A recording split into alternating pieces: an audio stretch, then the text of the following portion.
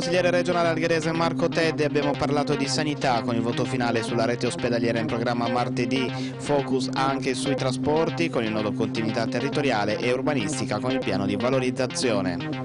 Domani in via Mazzini ci sarà il congresso cittadino del Partito Democratico, si va verso la conferma di Mario Salis al segretario, congresso forse decisivo per il futuro della consigliatura. Domani anticipo nella Serie B di rugby nel pomeriggio l'Amatori ospita il Lecco, l'obiettivo è riscattare il KO Lumezzane, intervista all'allenatore Marco Anversa che ha presentato anche la nuova maglia.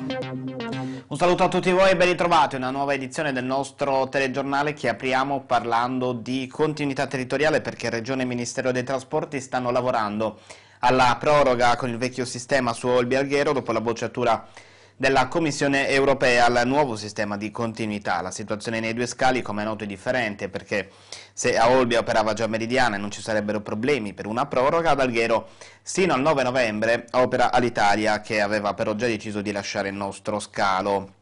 La novità di queste ore è che si sta definendo un accordo commerciale tra l'ex compagnia di bandiera con Blue Air che si era aggiudicata la gara per gestire i voli in continuità ad Alghero. La compagnia romena infatti ha già fatto un investimento importante con l'assunzione tra l'altro di 45 persone a terra. La situazione potrebbe sbloccarsi tra la fine di questa settimana e l'inizio della prossima quando appunto l'Italia e Blue Air troveranno un accordo e il Ministro Del Rio firmerà il decreto di proroga. Ad oggi, infatti, lo ricordiamo, non è possibile prenotare i biglietti dal 9 novembre in poi per gli scali di Fiumicino e Linate. Della situazione delicata della continuità territoriale abbiamo parlato con Marco Tedde in una lunga intervista che vi proporremo poi integrale alla fine del nostro telegiornale nella quale sono stati affrontati temi altrettanto importanti come sanità e urbanistica. Sentiamo ora però l'estratto in cui il consigliere regionale di Forza Italia parla appunto di continuità territoriale del bando sulla destagionalizzazione con l'apertura delle buste con le offerte che è stata rinviata al 7 novembre.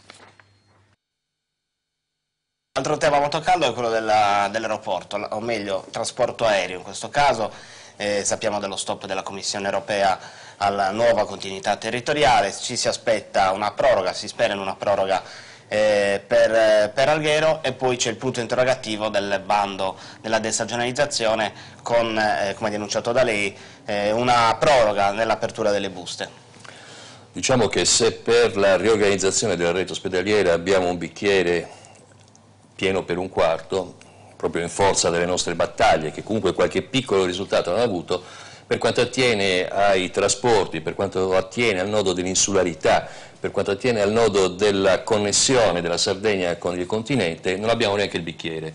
Non abbiamo neanche il bicchiere perché è fallito miseramente il bando della continuità territoriale dei tre aeroporti sardi per Roma e Milano, era stato sospeso il bando della CT2, quello sulle rotte minori, questo nell'ottobre del 2014, è ormai fallito il percorso eh, diciamo, pieno di frutti, di buoni frutti che noi avevamo avviato tanti anni fa, nel 2002, con il low cost che comunque aveva fatto crescere il territorio, aveva fatto crescere e nascere tante attività. Crediamo che stia per fallire anche il bando cosiddetto della destagionalizzazione 40,8 milioni di euro che vengono però affidati per destagionalizzare a compagnie aeree, o meglio a società di marketing possedute, controllate da compagnie aeree.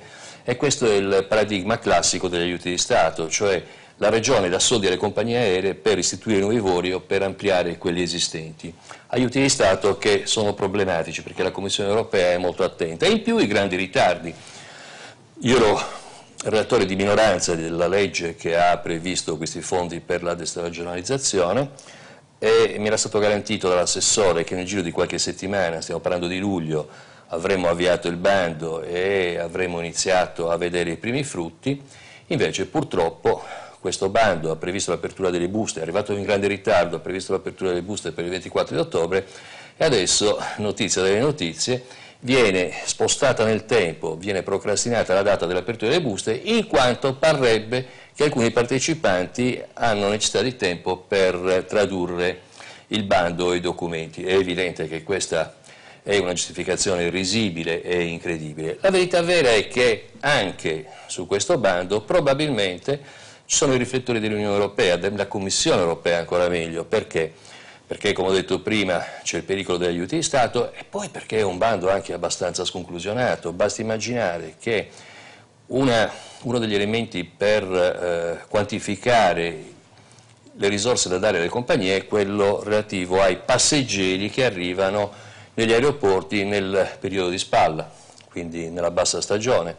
Ebbene, questi passeggeri nei periodi di spalla eh, sono per lo più residenti, quindi noi rischiamo di pagare per i residenti e ancora ci sono delle rotte, per esempio quella di Venezia fatta da Volotea ad Alghero, che sono già praticate da altre compagnie. Ecco, come vengono calcolati questi passeggeri che già vengono, sono stati fidelizzati e continuano ad arrivare ad Alghero? Come si fa a calcolarli? Insomma, mi pare che complessivamente sia un bando che presenta grosse problematicità, grosse criticità eh, che rischia di essere posto sotto i riflettori della Commissione europea. Nell'intervista abbiamo parlato anche della situazione politica cittadina, si guarda inevitabilmente al congresso del Partito Democratico che eh, si terrà domani e che potrebbe essere decisivo per il futuro della consigliatura. Appuntamento per i vecchi tesserati e per quelli nuovi domani alle 10.30 nella sede di Via Mazzini dove verrà celebrato il congresso cittadino del Partito Democratico. Se ne è parlato ampiamente nelle ultime settimane con Mario Bruno che ha indicato il PD come ago della bilancia. La situazione è ormai ben nota a tutti. C'è una fetta del partito che vorrebbe stringere un patto con il sindaco per consentirgli di mantenere la fascia tricolore e tra questi c'è il capogruppo Mimmo Perisi. Dall'altra c'è la corrente che fa riferimento invece a Enrico Daga che in linea con il risultato elettorale vorrebbe che il PD restasse tra i banchi dell'opposizione. Ma c'è anche chi è convinto che il congresso di domani non sarà determinante per il futuro della consigliatura, con le divisioni che potrebbero restare tali e Pirisi e Nasone, quest'ultimo in procinto di entrare proprio nel PD, pronti a sostenere ancora Bruno. A quel punto scatterebbe il toto assessore con le prime ipotesi che iniziano già a circolare come quella di un ritorno di Gabriele Esposito al turismo e alla cultura e di Marisa Castellini ai servizi sociali. Per ora solo supposizioni, anche perché l'esito del congresso è tutt'altro che scontato. Ci fermiamo per una prima pausa pubblicitaria.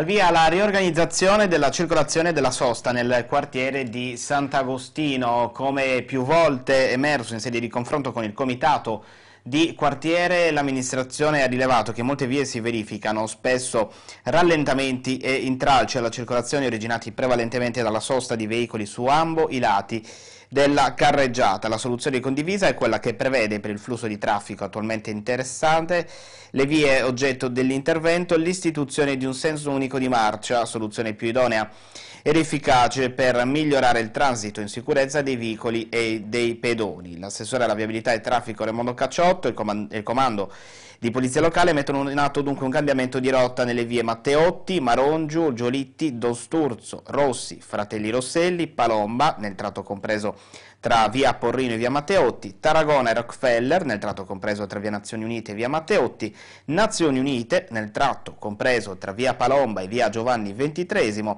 Crispi nel tratto compreso tra via Palomba e via Rockefeller, Rina de Liguoro nel tratto compreso tra via Tarragona e via Rockefeller, attualmente strade a doppio senso di circolazione veicolare con sosta consentita su ambulati parallelamente all'asse longitudinale della carreggiata. I lavori eseguiti dalla società in house con il coordinamento della polizia locale sono iniziati da via Gioliti, come avete potuto vedere anche dalle immagini realizzate proprio questa mattina, quindi come detto in tutte queste vie citate verrà istituito il senso unico di marcia. Parliamo di sport ora, legato però al contesto cittadino e al problema delle strutture. Mm, eh, lo facciamo con il maestro del Judo Club Alghero, Gavino Piredda, che è tra l'altro presidente regionale del, della Filcam, perché Olbia di recente ha ospitato il campionato mondiale Veterans e Kata di Judo, un'occasione persa per Alghero, così come molte altre. Adesso abbiamo parlato dei campionati del mondo che si sono svolti a Olbia, possiamo dire era il marico per il fatto che Alghero non possa ospitare eventi di tale portata? Ma Alghero non può ospitare eventi di tale portata per una sola ragione, chiaramente non per la ragione eh, geografica eh, della città, perché è una bellissima città, anzi io la reputo la città più bella del mondo e più vivibile al mondo, ma perché non ci sono strutture? Eh, i nostri politici non hanno mai pensato che la lungimiranza è una capacità importante per noi, ma loro evidentemente non ce l'hanno, ma non per criticare nessuno, per carità, magari si pensa ad altre cose importanti, ma a costruire costruire una struttura sportiva eh, degna della città di Alghero, degna degli sportivi di Alghero perché ci sono decine di società che operano in tutti i settori, in tutte le specialità sportive, ma nessuno ha la possibilità di ospitare un torneo, un campionato del mondo, di europeo, un campionato italiano, per poter attirare l'attenzione eh, degli sportivi stranieri anche di tutto il mondo a conoscere la città di Alghero, che è una bellissima città. Quindi eh, non abbiamo una struttura, non possiamo ospitare eh, manifestazioni ad altissimo livello. Siamo andati ad Olbia perché Olbia offre una struttura eccezionale che è la Geo Village all'interno del quale oltre a 280 camere che ha, insomma, quindi può ospitare 300-400 persone, ehm, poi ha una struttura, un palazzetto dello sport all'interno della, della struttura stessa che può ospitare qualsiasi manifestazione, tra queste il campionato del mondo, campionato del mondo che ha ospitato, abbiamo ehm, accreditato 1400 atleti, solo atleti che hanno gareggiato nell'arco di 10 giorni, con afflusso di, di, di, parenti, amici, conoscenti, tecnici, arbitri da tutto il mondo e c'era un, un, movimento di gente per 10 giorni ed è grande importanza per la città di, di, di Olbe, tant'è vero che hanno sospeso la chiusura di molte attività commerciali per continuare per altri 10 giorni un'attività degna appunto del, del, del posto, cioè del posto turistico. Questo a noi, io sinceramente sono molto molto dispiaciuto di questo, ma d'altronde la mia attività e, e, la mia passione mi porta lontano e lontano siamo andati. Siamo andati 2000, eh, nel 2002 a a, ad organizzare un campionato italiano a Quarto Sant'Elena, perché non avevamo la possibilità di farlo qua. Abbiamo organizzato i campionati eh, europei l'anno scorso e siamo andati a Olbia perché qua non ce l'avevamo la possibilità. Abbiamo sospeso un torneo internazionale femminile che io organizzavo per 20 anni, l'abbiamo sospeso preso perché ormai la struttura fatiscente, che appunto è fatiscente la struttura della cunetta, non era più in grado di poter ospitare eh, atleti stranieri eh, perché noi ci facevamo una meschina figura. E questo mi dispiace dirlo che non si pensa a, a, in questa direzione eh, che è, molto, è, una direzione importantissima perché lo sport porta turismo, il turismo porta economia e non sono io qui a, a dirlo e ad insegnarlo a nessuno per carità, però questa è la realtà di oggi, lo sport se è tenuto conto delle strutture si può fare molto di più di quello che si è fatto fino ad oggi. Dello sport parleremo più avanti nel nostro telegiornale, ora spazio alla cultura, all'arte, siamo andati nella torre di Portaterra dove è in corso la mostra di Salvatore Sotgiu, ne ha parlato ai nostri microfoni lo stesso artista. Salvatore Sotgiu, nato qui ad Alghero nel lontano 42, ho preso vari lavori che ho fatto nell'arco degli anni, ho preso, ripreso diciamo, gli studi, eh, diplomandomi con qualità di maestro d'arte e avevo la passione della, della, pittura e così nel tempo, negli anni, diciamo dagli anni 60, ho iniziato a presentarmi al pubblico di Alghero e non solo, ma un po' in tutta, in tutta, in tutta Europa, facendo delle esposizioni di mostre. Anzi, adesso che ben mi ricordo, negli anni dopo 60 ho, ricordo di aver inaugurato proprio qui alla Torre Portoterra una mia personale. E poi a distanza degli anni sono ritornato qualche altra volta e ancora oggi sono qui. Che altro dire? Eh, I miei quadri, non so se li conoscete, sono quadri del tipo diciamo, espressionista, soprattutto per, eh, per la rapidità del segno che ne caratterizzano i quadri. Per quanto riguarda le mie tematiche, un po' tutte, partendo dal paesaggio, temi di compositivi, fiori e altre, prediligo so, soprattutto la figura, il nudo, che qui ne troverete un certo numero di quadri.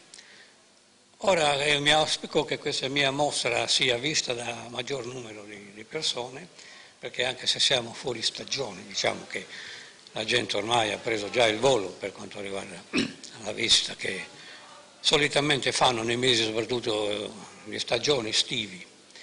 Ad ogni modo io mi auguro che ancora oggi, per quanto riguardano ancora pochi giorni che terrò questa mostra, sia ancora visitata.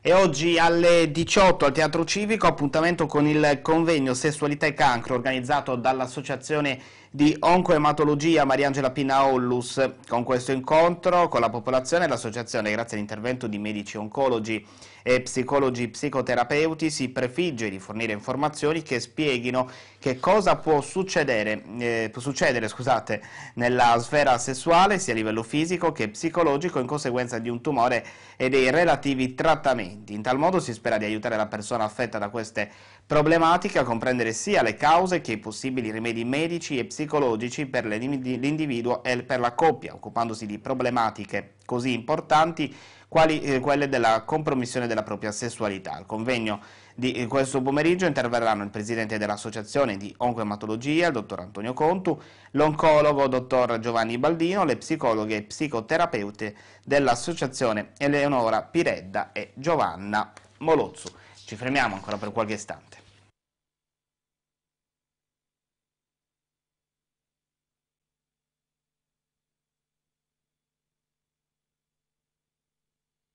Festa in piazza per celebrare i primi cinque anni di attività dell'Associazione Fuori di Zampa. Questa domenica l'Associazione di Volontariato Animalista spegnerà cinque candeline e lo farà pubblicamente in piazza dei mercati. Alle 15.30 si svolgerà una sfilata mm, canina, i quattro zampe si contenderanno numerosi premi alla fascia del più bello e del più abile sotto gli occhi attenti di una commissione costituita da baby giurati per tutto il pomeriggio. I bambini saranno coinvolti in un laboratorio con attività ludico-creative a tema cinofilo. Anche questo è un modo per far sensibilizzazione, seminare un'educazione al rispetto degli animali tra le nuove generazioni. Le iscrizioni alla sfilata e ai laboratori si raccoglieranno sul posto a partire dalle 14. Il pomeriggio culminerà con il taglio della torta che sarà offerta a tutti i partecipanti. Sarà presente anche il banchetto dell'associazione con i gadget creati dalle volontarie e sarà possibile prenotare una copia del um, tradizionale calendario fuori di zampa in uscita. I fondi raccolti saranno utilizzati come sempre per la cura di randagi con particolare attenzione agli interventi veterinari straordinari dei cani rinchiusi nel canile di Alghero e per portare avanti campagne di adozione e sensibilizzazione. E ci avviciniamo a un weekend sportivo ricco di appuntamenti, uno di questi è in programma domani alle, alle 14.30 nel campo di Maria Pia con l'Amatori Rugby Alghero che ospiterà il Lecco per la quarta giornata del campionato di Serie B. Ha presentato la partita, ma anche la nuova maglia all'allenatore Marco Anversa. Domani alle 14.30 anticipo a Maria Pia, si gioca contro Lecco, obiettivo riscatto. Obiettivo riscatto, hai detto giusto, siamo inciampati domenica scorsa comunque contro una grande squadra, molto fisica e molto determinata a casa loro. E niente, abbiamo intenzione di riportare a casa punti che saranno fondamentali per la classifica. Come ha lavorato la squadra in settimana? Ci siamo allenati sia martedì, mercoledì e giovedì, nonostante avessimo un giorno in meno di recupero abbiamo scelto di tenere 5 allenamenti. Oggi sarà riposo e domani saremo pronti per il grande appuntamento. Un campionato duro comunque questo di Serie B. Sicuramente, sicuramente duro perché abbiamo qualche giocatore di esperienza che comunque è veramente di esperienza, passi 30 anni, quindi magari i giorni di recupero sarebbero fondamentali e i giovani invece hanno tanto bisogno di lavorare e ci manca giusto quei ragazzi nell'intermezzo, i maturi, 27-28. Ci stiamo lavorando, comunque abbiamo creato una buona amalgama siamo pronti, siamo pronti per questo campionato. Amatori che giocherà con la nuova maglia che tu indossi adesso. Sì, veramente bellissima, sono rimasto molto stupito in settimana quando l'abbiamo vista e una bella sorpresa per tutti, sarà un incentivo in più. Invitiamo allora gli algheresi a sostenere l'Amatori anche domani. Vi aspettiamo domani alle due e mezza al nostro campo, casa nostra, Maria Pia. E questa sera invece alle 18.45 nella sala mosaico della Fondazione Meta si terrà la conferenza eh, stampa nella quale il PGS provinciale presenterà l'anno sportivo Master Series 2017-2018 e premierà sia le squadre che hanno vinto nelle diverse competizioni nella stagione 2016-2017 sia quelle che hanno conquistato il Master Cup nel calcio a 8 e nel calcio a 5, in quest'ultimo caso la Futsal Alghero che ha battuto ai rigori l'Audax Algherese. Per quanto riguarda la nuova stagione, partecipazione record con ben 30 team impegnati tra le varie competizioni e categorie con un indotto stimato di circa 500 atleti accompagnatori. Il circuito si prepara a varcare i confini locali e la dirigenza sta mettendo sul tavolo tutta una serie di situazioni ed eventi con lo scopo di dar corpo e sostanza a un progetto ormai da tempo nel cassetto, ovvero il lancio stabilizzato e coordinato del turismo ludico sportivo nel nostro territorio, segmento che recenti ricerche danno assolutamente fuori da situazioni legate alla contrazione del mercato turistico, anzi con punte di crescita percentuali a doppia cifra nel mercato turistico. E per oggi è tutto, noi ci rivediamo domani, grazie per essere stati con noi e arrivederci.